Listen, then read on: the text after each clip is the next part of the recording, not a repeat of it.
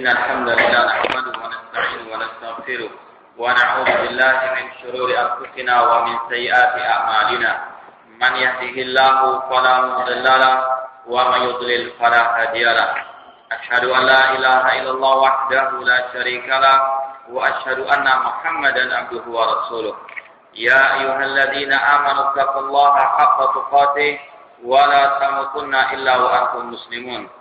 يا أيها الناس اتقوا ربكم الذي خلقكم من نفس واحدة وخلق منها زوجها وبث منهما رجالا كثيرا ونساء. واتقوا الله الذي تساءلون به والأرحام. إن الله كان عليكم رقيبا. يا أيها الذين آمنوا اتقوا الله وقولوا قولا سديدا. يصلح لكم أعمالكم ويغفر لكم ذنوبكم. ومن يطع الله ورسوله فقد فاز فوزا عظيما أما بعد فإن أصدق الحديث كتاب الله وخير الهدي هدي محمد صلى الله عليه وسلم وشر الأمور محدثاتها وكل محدثة بدعة وكل بدعة ضلالة وكل ضلالة في النار إخواني في الله رحمني ورحمكم الله kita teruskan kembali kajian tentang akidah Imam Asy-Syafi'i rahimahullah taala yang ditulis oleh Al-Dr. Muhammad bin Abdul Wahab Al-Aqil hafizahullah taala. Sekarang kita masuk kepada al-aslu as-salih, landasan ketiga dari landasan-landasan Imam Asy-Syafi'i dalam beliau berakidah.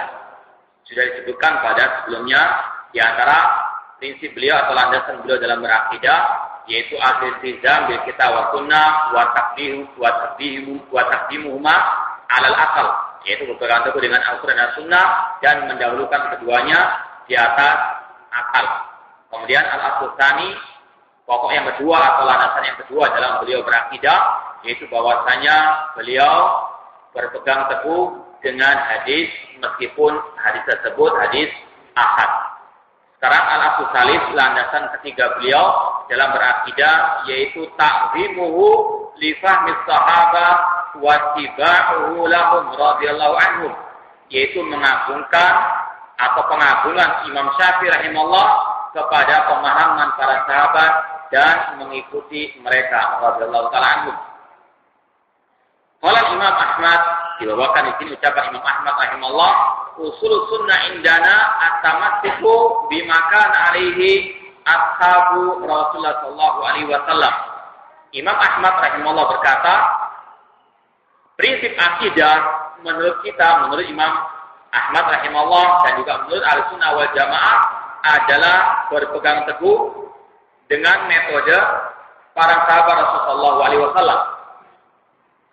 Ini yang sudah pernah kita ajarkan yang pernah kita baca di masjid ini pertama kali yaitu tentang kitab Imam Ahmad rahimahullah yaitu Usul Sunnah. Ya, waktu, awal kali kita mengajar di masjid ini kita ajarkan kitab Usul Sunnah yang dikarang Imam Ahmad rahimahullah taala. Yang pertama kali beliau katakan prinsip akidah kita adalah berpegang teguh dengan metode para sahabat. Imam Ahmad rahimahullah sebelum memulai pembahasan akidah dalam kitab beliau tersebut, beliau menanamkan sebuah metode. Dalam kita berakidah haruslah sesuai dengan metodenya para sahabat Rasulullah Alaihi Wasallam. Dan ini merupakan metodenya para imam-imam ahli sunnah wal jamaah. Di antaranya Imam Asy-Syafi'i rahimahullah. Tidaklah Imam Syafi'i berakidah kecuali berakidahkan apa yang telah dipahami oleh para sahabat Rasulullah Alaihi Wasallam. Wa ala hadza Imam Asy-Syafi'i rahimahullah taala dan demikianlah Imam Syafi'i rahimahullah juga berjalan di atas metode yang satu ini, yaitu mengagungkan pemahaman para sahabat, terutama dalam masalah akidah. Faqala rahimahullah fi jawab man sa'alahu an sahabat. Imam Asy-Syafi'i rahimahullah pernah berkata ketika beliau menjawab pertanyaan seseorang yang bertanya kepada beliau tentang pendapat beliau terhadap ucapan-ucapan para sahabat. Tidak tafarraqu fiha, khususnya apabila terjadi perbedaan di antaranya. Kata Imam Syafi'i, nafiru minha ilama wa faqal kita bahwa tu awil sunnata awil ijma'a au kana asahha fil qiyas. Kata Imam Syafi'i, kita kalau terjadi perbedaan antara para sahabat, kita mengambil ucapan yang lebih dekat, lebih sesuai dengan Al-Quran atau Sunnah atau ijma atau yang lebih baik di dalam masalah tiang. Kemudian sang bertanya itu mengatakan, "Afara'aita idza qala al-wahidu minhumul qawla la yuhfadu an ghairihi minhum fihi lahu muwafaqatan wa la khilafan?"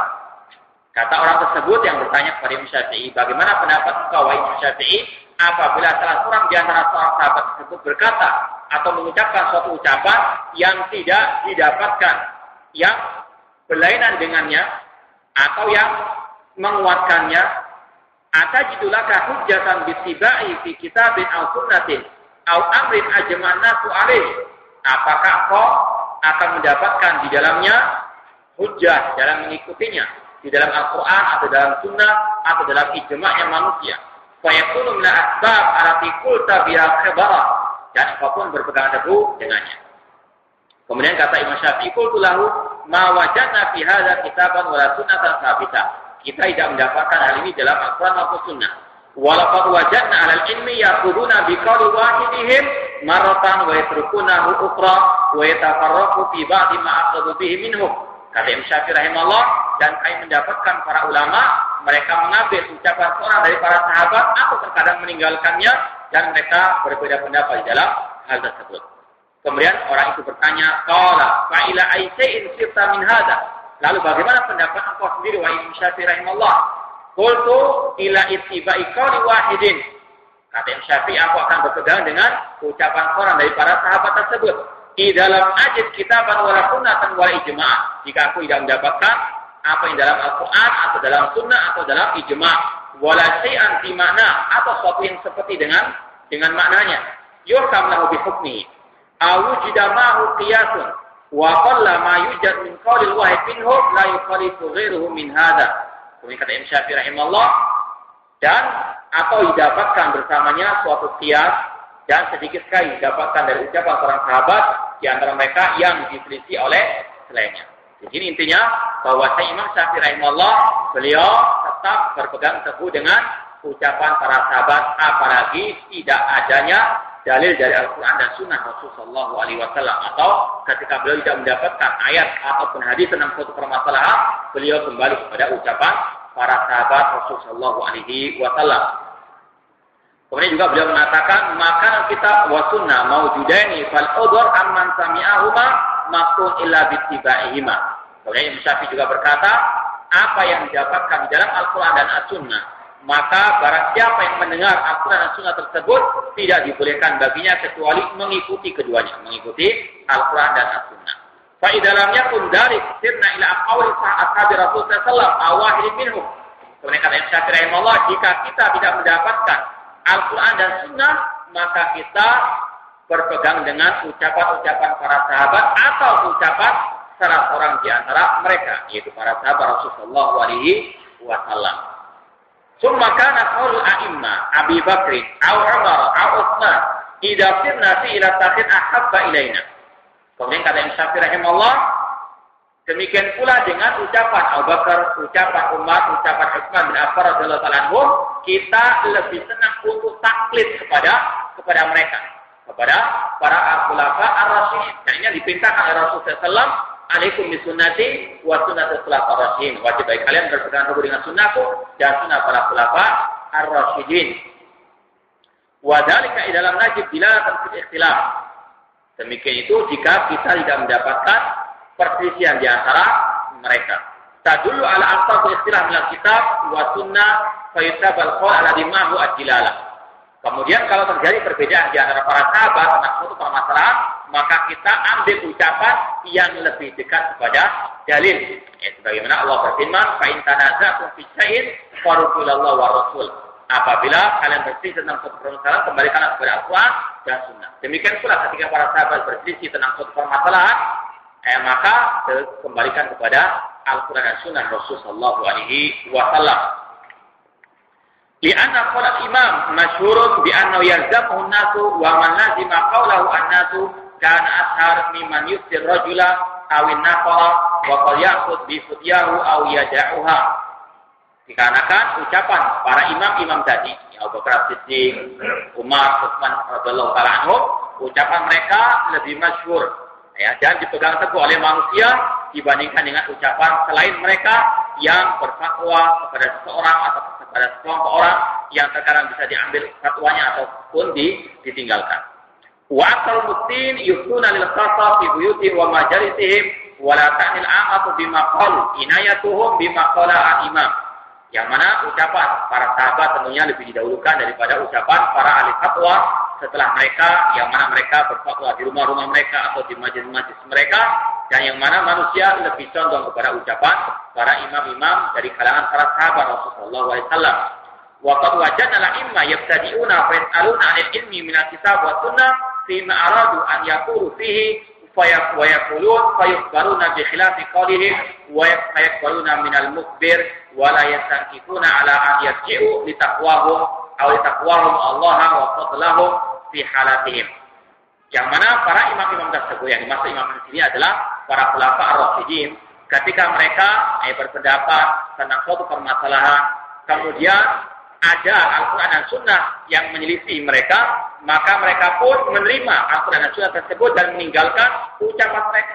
Ini adalah di antara keutamaan para al-khulafa ar-rasyidin litakwahum karena ketakwaan mereka kepada Allah dan karena keutamaan mereka. Mereka para sahabat Rasulullah SAW, eh, mereka person-person para sahabat tidaklah maksum.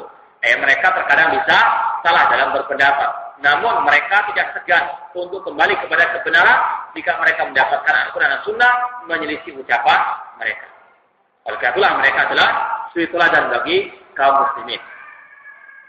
Kemudian kata Imam Syafi'i rahimahullah, fa idalam yujad anil a'imma fa Rasul sallallahu min ad-din fi mawdi'in akhadna bi. Kalau tidak kita dapatkan ucapan para khulafa rasyidin, maka kita ambil ucapan para sahabat yang lainnya. Wa kana ittiba'u aula bina. Mengikuti mereka itu lebih utama bagi kita. Min ittiba'i min ba'dihim atau man ba'dahu itu lebih utama daripada kita mengikuti selain para sahabat Rasulullah alaihi wasallam. Kemudian Imam Syafi'i berkata, wal ilmu tabaqatun syatta. Ilmu itu bertingkat-tingkat. Al-ula al-kitab wa sunnah idza sabat di sunnah. Yang pertama ilmu itu diambil dari Al-Qur'an dan sunnah apabila sahih. Ini sekali lagi Imam Syafi'i sering menekankan, kita hanya berpegang teguh dengan Al-Quran dan Sunnah yang sahih. Kita berpegang teguh dengan hadis yang sahih, bukan hadis yang lemah atau yang gaib atau yang maudhu yang palsu. Alkitab wa sunnatu idza sabati sunnah. Kita ilmu yang pertama adalah Al-Quran dan Sunnah apabila telah sahih. Asalnya al-ijma fi laysa fi kitabun wala sunnah. Tingkatan ilmu yang kedua adalah al-ijma, kesepakatan para ulama jika memang dia didapatkan di dalamnya Al-Quran dan Sunnah.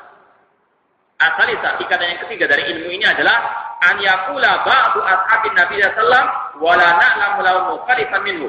Yaitu ucapan para sahabat atau sebagian mereka apalagi jika tidak bisa kita dapatkan yang menyelisihi mereka. Arabiah istilah ashabin al fidalik. Yang keempat, tingkatan ilmu adalah perbedaan pendapat di antara para sahabat Rasulullah alaihi wasallam. Kemudian al-khamisah yang kelima, al-qiyasu ala ba'di mengkiaskan pada setiap uh, tingkatan ilmu tersebut wala yusaru ila syai'in ghair kita wa sunnah. Yang mana kita tidak mengambil ilmu kecuali yang sesuai dengan Al-Qur'an dan Sunnah wa huma mawjudan dan keduanya itu ada wa inna ma yu'khadul ilmu min a'la. Dan ilmu itu diambil dari atas yaitu daripada Al-Qur'an dan Sunnah sesuai dengan pemahaman para sahabat Rasulullah alaihi wasallam. Ini yang diucapkan Imam Syafi'i rahimahullah yang menunjukkan bagaimana beliau berpegang teguh dengan Al-Quran dan Sunnah sesuai dengan pemahaman para sahabat Rasulullah SAW. Kemudian wa mimma yadullu ala ittiba'i li sahabat radhiyallahu anhum wa ta'zimihi li fahmihim ma dzakara al-Baihaqi min kalam Syafi'i rahimahullah fi risalah al-qadimah. Di antara hal yang menunjukkan tentang bagaimana para sahabat atau bagaimana Imam Syafi'i rahimahullah mengagungkan dan mengikuti para sahabat radhiyallahu ta'ala atau mengikuti pemahaman mereka yaitu riwayat yang disampaikan Imam Al-Baihaqi dari ucapan Imam Syafi'i rahimahullah riwayat Al-Hasan bin Muhammad Az-Za'farani yang diriwayatkan seorang bernama Hasan bin Muhammad Az-Za'farani Imam Syafi'i berkata wa qad asnallahu tabaraka wa ta'ala ala ashabi Rasulullah sallallahu alaihi wasallam fil Qur'ani wa Taurati wal Injil. Allah Subhanahu wa taala telah memuji para sahabat Rasul SAW di dalam Al-Qur'an, di dalam At-Taurat dan di dalam Al-Injil. Ini merupakan pujian dari Allah Subhanahu wa taala kepada para sahabat. Bukan hanya di dalam Al-Qur'an, namun juga di dalam kitab-kitab sebelum Al-Qur'an dan At-Taurat wal Injil. Seperti yang Allah firmankan dalam akhir surat Al-Fatah. Allah berfirman, Muhammadur Rasulullah walladzina ma'ahu asyidda walal kuffari ruhama'u bainahum. Muhammad adalah utusan Allah dan orang yang bersama beliau yaitu para sahabat. Mereka sangat keras kepada orang kafir dan mereka lemah lembut kepada orang yang beriman. Tarahum ruk'an sujada yabtaguna fadlan minallahi wa ridwana engkau mendapatkan mereka para sahabat itu ruku dan sujud mengharapkan keutamaan dari Allah dan keriduan darinya. Simahum fi wujuhihim min asari sujud. Tanda-tanda mereka ada pada bekas sujud-sujud mereka. Dari kamasal di Taurat wa masal di Injil. Demikianlah permisalan mereka. Demikianlah perumpamaan mereka di dalam Taurat dan Injil. Allah telah menyebutkan tentang keutamaan mereka, tentang perumpamaan mereka di dalam Taurat dan Injil. Ini para sahabat Rasulullah SAW, generasi terbaik umat Islam. Yang Allah sebutkan keutamaan mereka, yang Allah puji mereka, bukan hanya dalam Al-Quran, namun juga dalam Taurat wal Injil. Kata Allah SWT, Masalah fitar wa masalah fil Injil, kazar'in, akhraja syat'ahu, fa'azarahu, fastaghlada, fastawa ala tuti, yu'jibu zura'a liyaghidha bihimul kufar, wa'adallahu alladhina amanu wa amilu salihati minhum, maghfiratan wa ajran azim. Perumpamaan mereka, kata Allah SWT, seperti sebuah pohon yang mengeluarkan tunasnya, kemudian besar dan tunasnya tersebut menguatkan pohon tersebut sehingga pohon tersebut kokoh di atas batangnya yu'jibul dzurra menggembirakan orang yang menanamnya yaitu Rasulullah SAW bihim kufar untuk Allah membuat murka orang-orang kafir dengan para sahabat Rasulullah SAW. Kata Imam Malik rahimahullah, orang-orang Syiar Rasulullah mereka kafir dikarenakan ya, ayat ini. Allah mengatakan bihim kufar bahwasanya orang kafir cirinya adalah orang yang murka, benci kepada para sahabat Rasulullah SAW. Oleh itulah kelompok Syiah mereka kafir dikarenakan mereka sangat benci kepada para sahabat Rasulullah Alaihi Wasallam. Kemudian Allah berfirman, wa'adallahu alladziina amanu minhum wa 'amilus salihati maghfirat minhum maghfiratan wa ajran. Allah menjanjikan kepada orang beriman dan beramal soleh di antara mereka para sahabat ampunan yang besar dan pahala yang yang sangat besar, yang sangat agung. Ini ucapan yang Syafi'i rahimahullah mengatakan bahwasanya Allah Subhanahu wa taala memuji para sahabat di dalam Al-Qur'an, Taurat dan Injil. Wa sabaqa lahum ala lisan Rasul sallallahu min al-fadl ma li ahadin ba'dahu. Demikian pula Rasul sallallahu telah memuji para sahabat lewat lisan beliau ya. Malik taliarin ba'dahu yang tidak didapatkan orang-orang atau generasi setelah para sahabat Rasulullah Alaihi Wasallam. Rasul mengatakan karunasi qarni sebaik-baik umatku, sebaik-baik manusia adalah generasiku yaitu para sahabat Rasul SAW. Rasul bersabda, la takubu ashabi bahwa lagi nafsi biyadi lau anna adakum anfaqa misaurin dahaban ma balagha mudari wala nasifa. Jangan kalian mencaci maki para sahabatku Demi Allah, seandainya salah seorang di antara kalian menginfakkan satu gunung Uhud emas, tidaklah hal itu menyamai satu mut dari sedekah mereka ataupun separuhnya. Keutamaan para sahabat yang terdapat dalam Al-Quran dan Sunnah Rasul SAW sangat amat banyak sekali. Farahimahumullah, semoga Allah merahmati mereka. Wahannahum bima atahum min dalika bibuluhi a'la manajis siddiqin wa syuhadi wa salihin maka Allah pun memberikan kepada mereka keutamaan dan anugerah dengan menjadikan mereka sebagai orang-orang yang telah mencapai puncak ya para siddiqin, para syuhada dan para as-salihin. Hum adau ilaina sunana Rasulullah sallallahu alaihi wasallam wa tahaduhu wal wahyi yanzil alaihi. Para sahabatlah yang telah menyampaikan kepada kita sunnahnya Rasulullah SAW, yang menyampaikan kepada kita hadisnya Rasulullah SAW. Maka barang siapa yang mencela para sahabat, maka mereka telah mencela Al-Quran dan Sunnah Rasulullah SAW. Tujuan kelompok Syiah Rafidah misalnya, ketika mereka mencaci maki para sahabat, tujuan utamanya untuk membatalkan Al-Quran dan As-Sunnah. sebagaimana yang dikatakan oleh seorang imam al-sunnah wal jamaah Abu Zur ar-Razi rahimahullah taala beliau mengatakan idza ra'aita rajulan yantaqisu ahadan min ashabi Rasul sallallahu fa'lam annahu zindiq apabila Anda mengetahui atau melihat seseorang mencaci maki seorang dari sahabat Rasul sallallahu maka ketahuilah dia adalah zindiq Lian Al-Quran indana hakun, wa Rasulah indana hakun. Karena Al-Quran dan Rasul adalah hak menurut kita. Wa inna ma'adda ilaina hadal kita wa sunnah ashab Rasulullah alaihi wasallam. Dan yang membawa kepada kita, yang menyampaikan kepada kita Al-Quran dan Sunnah adalah para sahabat Rasulullah SAW. Kemudian kata beliau, Innama yuriduna an yajrahu syuhudana liyubatilul kita wa. Sesungguhnya orang-orang yang mencaci maki para sahabat, tujuan utamanya untuk membatalkan Al-Quran dan Sunnah Rasulullah Alaihi Wasallam. Wal jarhubim awla wa Maka mencela mereka, yaitu mencela orang yang mencela para sahabat, di antara Rafidah mencela Rafidah itu lebih utama wahum dan mereka adalah para zindik, mereka adalah al-munafiqun ya. Maka tidak aneh kalau mereka uh, kelompok Syiah Rafidah mereka adalah orang-orang yang sangat mencela para sahabat Rasulullah karena pendiri mereka adalah seorang munafik Abdullah bin Sabah seorang Yahudi yang masuk ke Islam untuk menghancurkan Islam dari dari dalam dengan berkedok cinta kepada ahlul bait. Eh, padahal cinta mereka dusta karena mereka mencela para sahabat Rasulullah alaihi wasallam. Maka sungguh benar ucapan Abu Ar-Razi wa hum Mereka adalah zindik, eh, kelompok Syiah Rasulullah, mereka adalah zindik, mereka adalah musuh-musuh Islam. Yang menyampaikan kepada kita Al-Quran dan Sunnah adalah para sahabat Rasulullah. Mereka lah yang menyaksikan langsung bagaimana wahyu turun kepada Rasulullah SAW. Fa'alimu ma'arada Rasulullah SAW. Mereka lah yang tahu tentang apa yang dimaksudkan oleh Rasulullah SAW di dalam Al-Quran ataupun di dalam hadis Rasulullah SAW.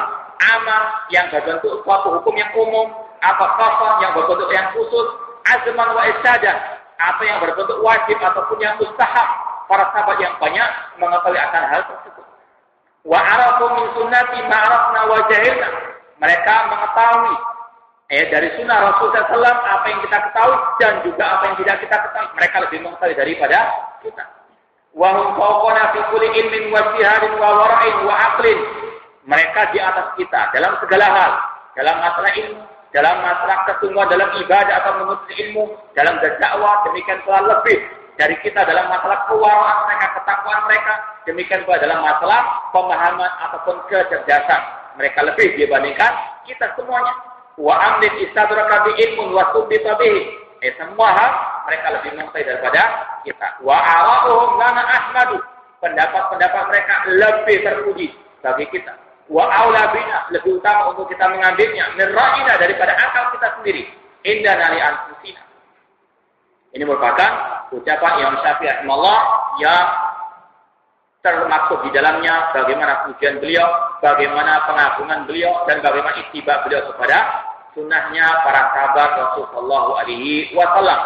Dan ini yang selalu kita dengungkan dan selalu kita kumandangkan yaitu kewajiban kita beragama sesuai dengan apa yang dipahami oleh para sahabat Rasulullah SAW. Tidak ada jalan keselamatan kecuali jalan yang para sahabat. Rasul mengatakan umat Islam terpecah menjadi 73 golongan, semuanya masuk neraka kecuali satu, yaitu makna lewat hati, yaitu yang mengikuti aku dan para sahabatku. Kalau mau selamat di dunia mau berakhirat, beragama sebagaimana agamanya para sahabat. Demikian pula tidak ada jalan petunjuk kecuali petunjuknya para sahabat Rasulullah SAW. Allah berfirman, "Fa'in amanu bimisli amantum bi faqad ihtadaw." Jika mereka manusia beriman sebagaimana imannya kalian wahai para sahabat, faqad ihtadaw. Maka mereka akan mendapatkan petunjuk. Tidak akan mungkin manusia mendapatkan petunjuk kecuali petunjuknya para sahabat Rasulullah SAW. Al-Imam Ibnu Qayyim rahimahullah ketika mentafsirkan ayat Ihdinas siratal mustaqim, apa jalan yang lurus? Kata beliau, jalannya Abu Bakar dan para sahabat Rasulullah SAW. Demikian pula tidak ada jalan menuju kepada surga Allah, tidak ada jalan menuju ke ridwan Allah Subhanahu wa taala kecuali kepada jalannya para sahabat Rasulullah SAW. والسابقون الأولون من المهاجرين والأنصار والذين تبعوهم بإحسان رضي الله عنهم ورضوا عنه وعد لهم جنات تجري تحت الأنهار خالدين فيها أبدا وذلك الفوز العظيم dan orang yang terdahulu lagi pertama masuk Islam dari kalangan al-muhajirin dan al-ansar, para sahabat. Dan yang mengikuti mereka dengan baik, Allah ridho kepada mereka dan mereka pun ridho kepada Allah. Allah menyediakan bagi mereka surga yang mengalir di bawahnya sungai-sungai. Mereka kekal dalamnya selama-lamanya dan itulah kemenangan yang besar. Tidaklah jalan menuju surga, tidaklah jalan menuju kepada keriduannya Allah kecuali lewat jalannya para sahabat Rasulullah alaihi wasallam. Kemudian Imam Syafi'i berkata, wa qala wa man adrakna mimman narda aw hukiyalana anu bi baladina wa man qaru fi ma lam ya'lamu li rasul sallallahu fi sunnatan ila idza sama'u aw qali ba'dihim in kata Imam Syafi'i rahimahullah dan guru-guru yang telah kami ya belajar kepada mereka yang kami ridhoi yang diceritakan juga kepada kami di negeri kami bahwasanya jika mereka para ulama tersebut tidak mendapatkan sunnahnya Rasulullah SAW, maka mereka kembali kepada ucapan para sahabat Rasulullah SAW apabila mereka bersatu, atau kepada ucapan seorang dari mereka jika mereka berselisih. Wala nakut min akawim. Yang mana karena Imam Syafi'i rahimahullah dan kita tidak keluar daripada ucapan para sahabat Rasulullah SAW. Wa in qala wahidun minhum wa la yuqalidu ahadun ghairahu akan Nabi kauli jika ada seorang sahabat yang berkata tentang suatu agama, tentang suatu permasalahan agama, maka kita mengikutinya jika tidak ada yang menyelisih dari para sahabat yang lainnya. Ini sekali lagi ucapan yang Syekh Syafi'i rahimahullah yang menunjukkan kepada kita bagaimana banyak beliau kepada Quran Sunnah dan juga kepada ucapan para sahabat Rasulullah Alaihi Wasallam.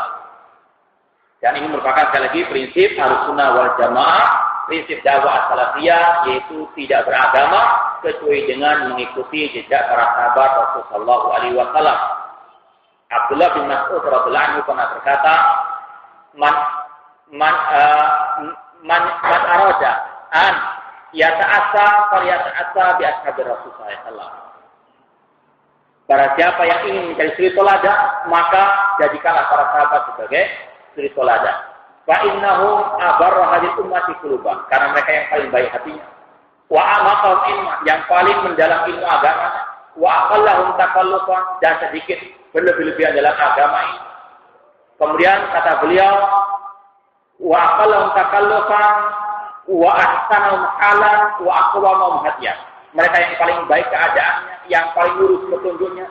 Kauman ikhtarahum Allah li sahabati nabihi wa iqamati dini.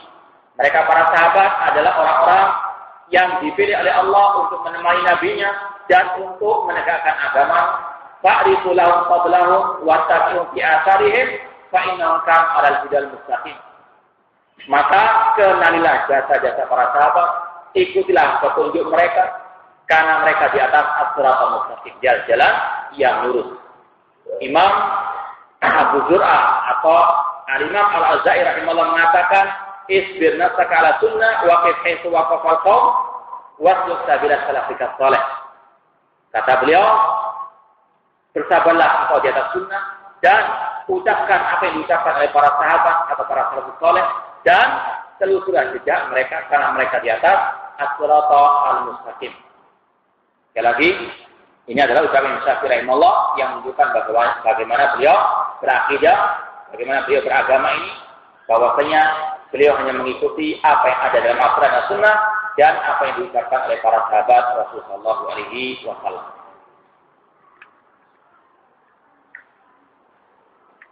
Kemudian yang keempat, al-asl rabi, prinsip Imam Syafi'i dalam berakidah, mujana batu ahli ahwa'i wal bid'ah wal kalami wa zamih, yaitu menjauhkan diri daripada ahli ahwa, pengekor hawa nafsu ataupun ahli bid'ah dan menjauhkan diri daripada ilmu kalam atau ilmu filsafat dan celaan beliau kepada ilmu filsafat ataupun yang belajar ilmu filsafat ataupun ilmu al-kalam. Imam Syafi'i rahimahullah sangat benci kepada kebid'ahan dan sangat benci kepada ilmu kalam.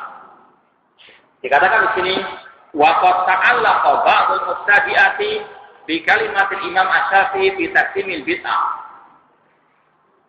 Sebagian ahli bid'ah mereka terkadang berdalil berhujah dengan ucapan Imam Syafi'i rahimahullah tentang pembagian bid'ah ada dua.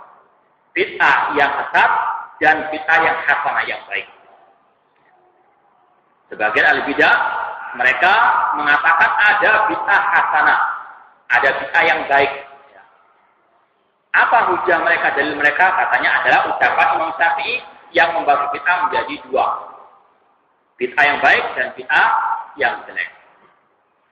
Fasaru yuhadisuna fi dinillah atau yuhadisuna fi dinillah. Maka mereka pun mengarang-arang hal baru dalam urusan agama ini yang tanpa dalil wa yastadilluna bi Kemudian mereka pun berdalil dengan ucapan Imam Syafi'i. Wa annahu yuqasimul bid'ah ila qismain bid'atin hasanatin wa bid'atin dhalalah. Dan mereka berdalil dengan ucapan Imam Syafi'i rahimahullah dengan mengatakan bid'ah ada dua bid'ah yang hasanah dan bid'ah yang dhalalah. Ini adalah ucapan Imam Asyafi rahimahullah yang disalahgunakan oleh sebagian ahli bid'ah. Sebelum kita masuk kepada pembahasan ini, terlebih dahulu kita sampaikan ucapan Imam Syafi'i rahimahullah tentang definisi bid'ah itu sendiri. Ya. Definisi dalam urusan agama ini ada dua. Ya, definisi secara bahasa dan definisi secara istilah syar'i. Ya, seperti sholat ya, sholat itu definisi secara bahasa adalah doa. Ya, Sholat itu artinya doa secara bahasa.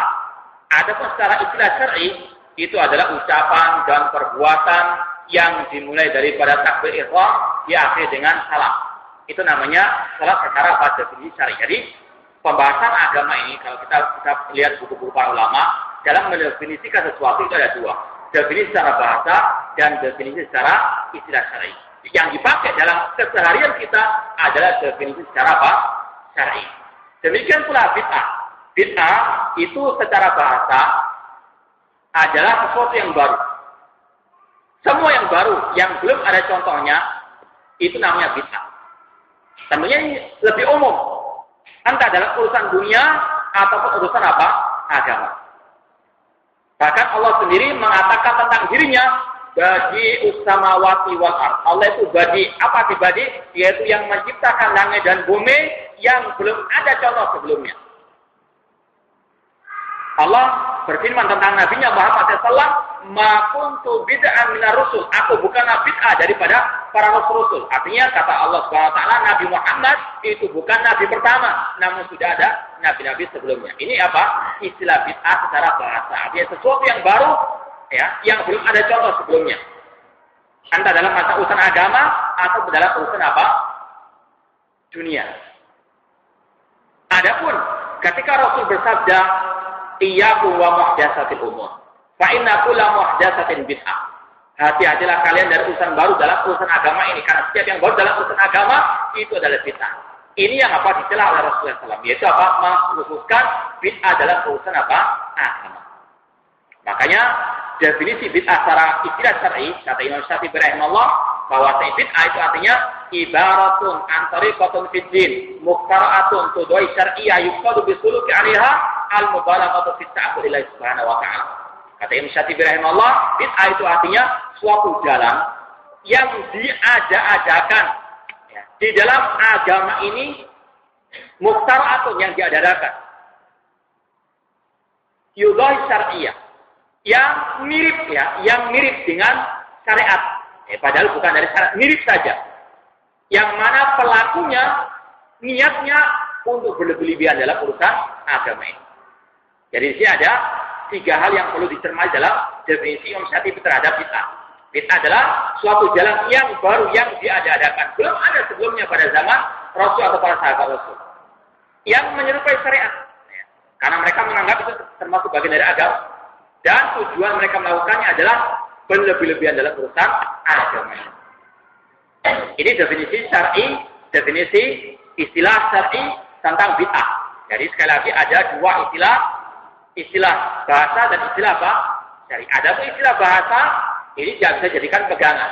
Ya, HP ini adalah bid'ah dalam urusan dunia. Namun Rasul mengatakan antum a'lamu bi umur dunyakum.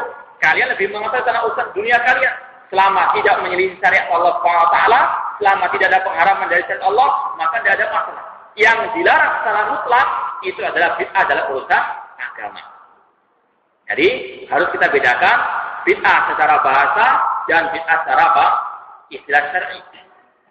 Adapun bid'ah secara urusan eh, dalam urusan dunia maka diperinci ada yang baik, ada yang yang jelek.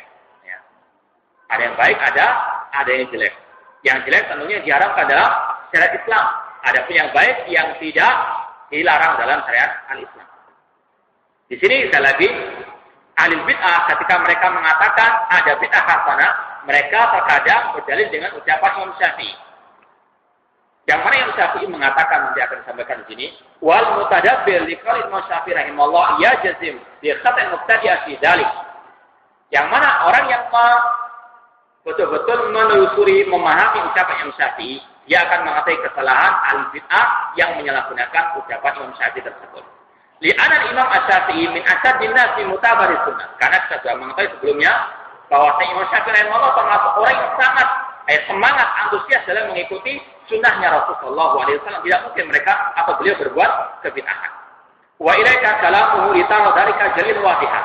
Sekarang silakan mencermati ucapan Imam Syafi'i yang disalahgunakan oleh al bid'ah dengan mengatakan ada bid'ah hasanah dalam agama ini. Imam Syafi'i berkata, al muhdatsatu minal umur korban. Hal yang baru dalam urusan ya, semua ini ada dua macam. Ya, kata beliau, urusan yang baru, hal yang baru itu ada dua macam. Ahadihima ma'ud bisa yukhalifu kitaban au sunnatan, au asaron, au ijma'ah.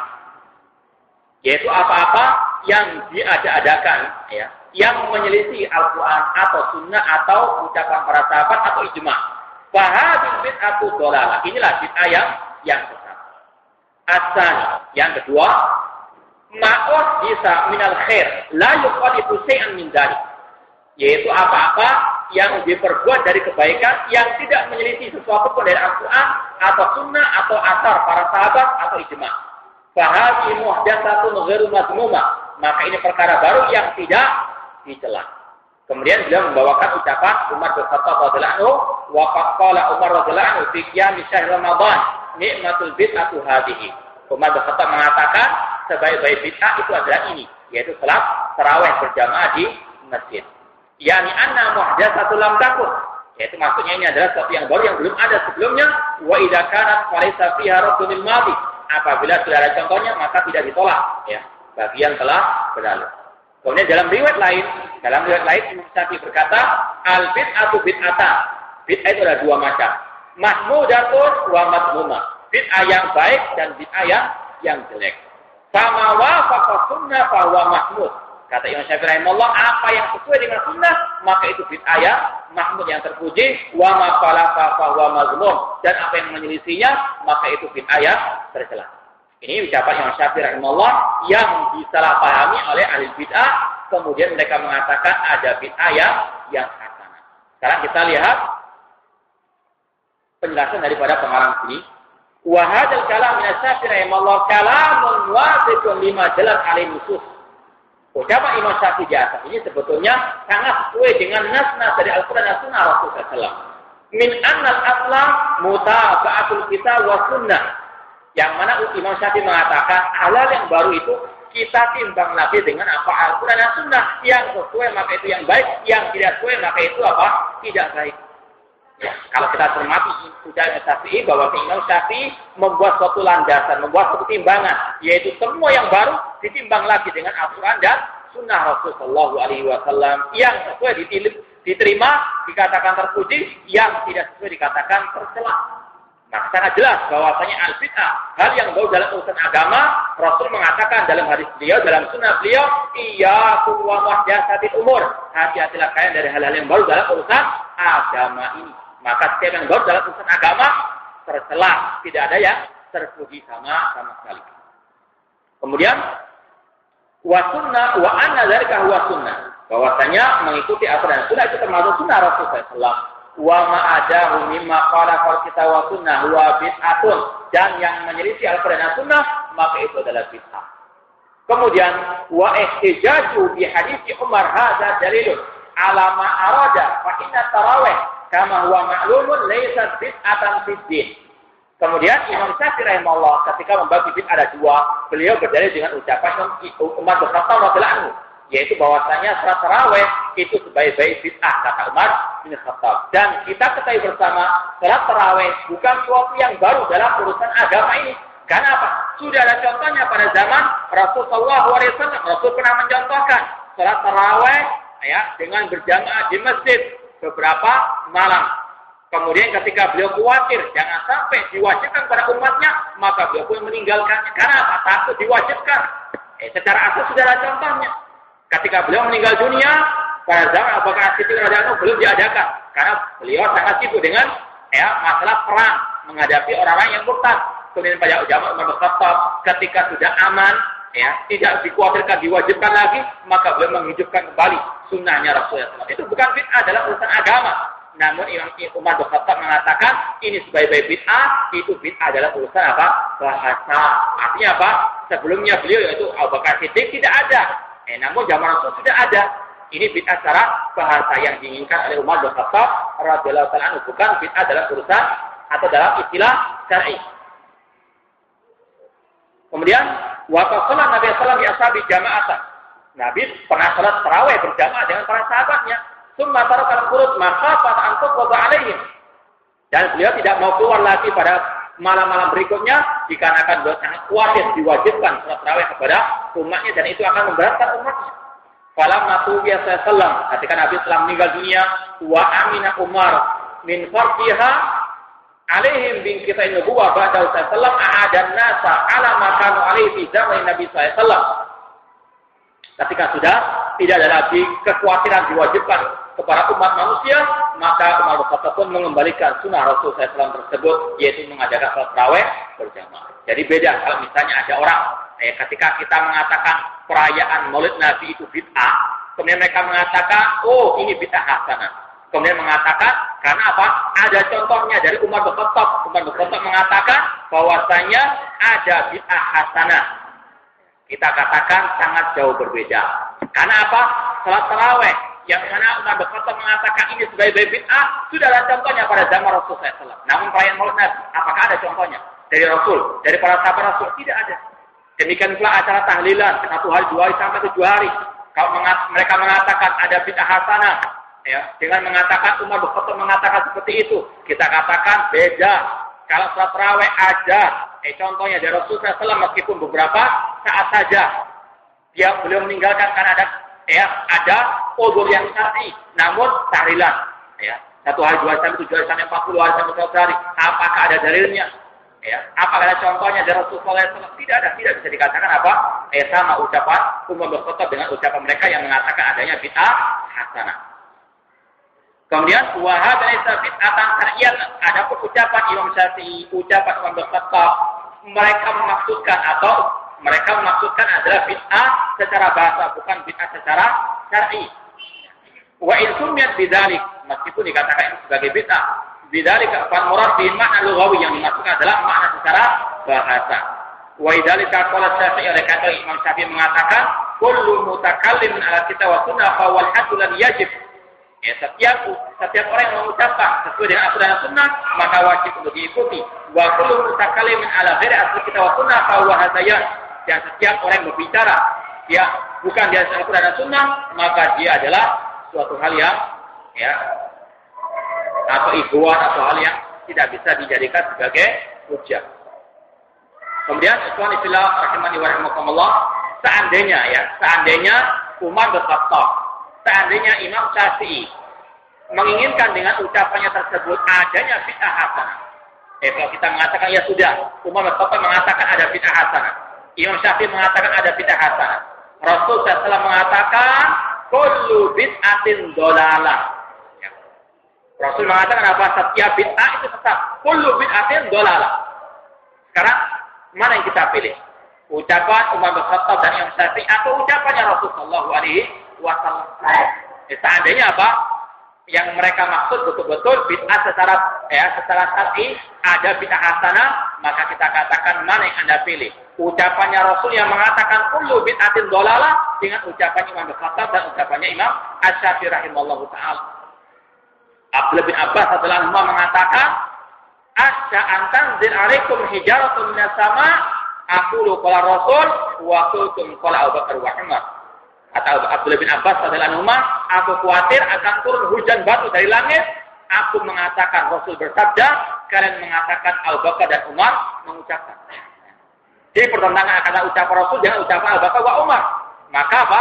Ini adalah suatu hal yang sangat eh, berbahaya, bisa turun musibah dikarenakan mendahulukan ucapan seseorang dibandingkan ucapannya Rasul SAW. Padahal Allah berfirman, Ya ayuhaladina amanu la tuqaddimu baina yadayi wa rasulih. Wahai orang beriman, janganlah kalian mendahulukan ucapan seorang pun di atas ucapan Allah dan Rasulnya Shallallahu Alaihi Wasallam. Eh, ini sekali lagi Imam Syafi'i mengatakan ada bid'ah hasanah, kita katakan Rasul mengatakan kullu bid'atin dolal. Tidak ada bid'ah yang yang hasanah Ya, kita sekali lagi merujuk kepada syahadat kita.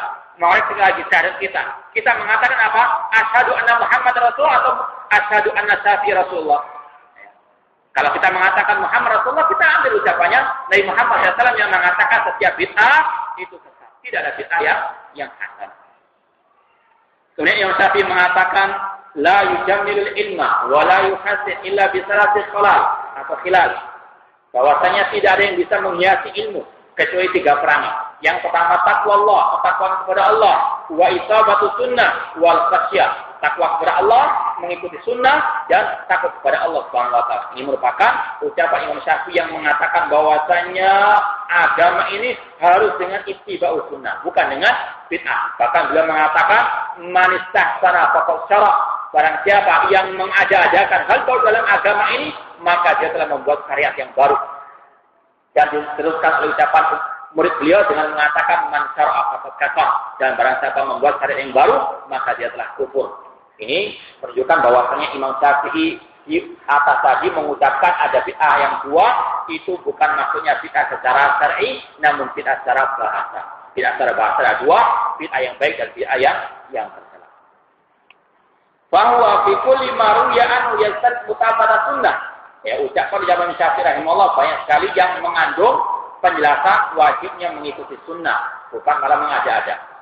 Wa maklum al bid'ah bi sunnah dan telah diketahui bersama bahwasanya al bid'ah itu lawannya sunnah. Ya tidak mungkin beliau menyuruh umat untuk berbuat kebid'ahan.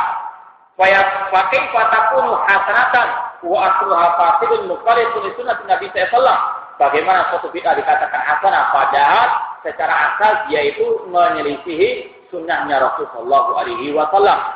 Rasul mengatakan man ahdatsa fi amina hadza ma laysa min. Barang siapa yang mengarang-arang satu hal yang baik dalam urusan agama, maka itu tertolak. Rasul juga mengatakan man amila amran laysa lahu amra fawarajun. Barang siapa mengamalkan suatu amal ibadah tanpa sunnahku, maka itu tertolak. Eh bagaimana dikatakan ada bid'ah hasanah? Pada Rasul mengatakan yang tidak sesuai dengan sunnahku, maka tertolak. Eh maka jelas-jelas tidak ada bid'ah yang hasanah. Semua bid'ah adalah sesat dan menyesatkan. Wallahu ta'ala wa sudawana alhamdulillah rabbil alamin. Wassalamualaikum warahmatullahi wabarakatuh.